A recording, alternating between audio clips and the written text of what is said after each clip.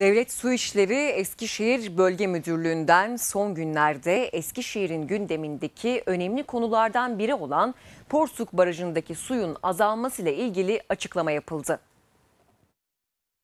DSE Eskişehir Bölge Müdürlüğü'nden son günlerde Eskişehir'in gündemindeki önemli konulardan biri olan Porsuk Barajı'ndaki suyun azalmasıyla ilgili açıklama yapıldı. Büyükşehir Belediye Başkanı Yılmaz Büyükerşen Porsuk Barajı'na giderek incelemelerde bulunup burada bir basın açıklaması yapmış. Porsuk Barajı'ndan Polatlı'ya sulama suyu verilmesini eleştirip Eskişehir halkının cezalandırıldığını ifade etmişti. Bunun üzerine Devlet Su İşleri Bölge Müdürlüğü'nden yapılan açıklamada Porsuk Barajı ve doluluk oranları hakkında bilgi verilerek Porsuk Barajı'nın amacı öncelikli olarak Eskişehir ilinin içme ve kullanma suyu ihtiyacının karşılanması, Eskişehir ilinin taşkınlardan korunması, sulama ve enerjidir.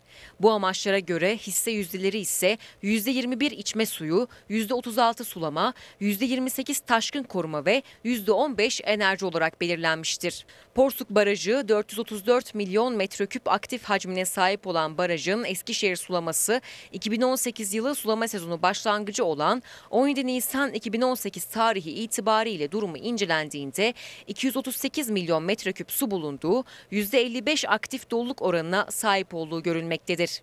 Sulama sezonu başlama tarihi 17 Nisan'la 27 Temmuz tarihleri arasında barajdan Eskişehir sulaması için 48 milyon metreküp, içme ve kullanma suyu için yaklaşık 13 milyon metreküp, Porsuk çayı doğal hayatı koruma için 12 milyon metreküp su bırakılmıştır.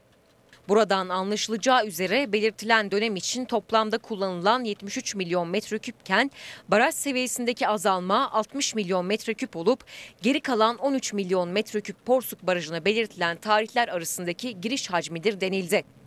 Genel sulama planlamasına göre Eskişehir'in su ihtiyacının 96 milyon metreküp olduğu ifade edilirken Porsuk çayında Polatlı'nın da hakkının bulunduğu söylendi.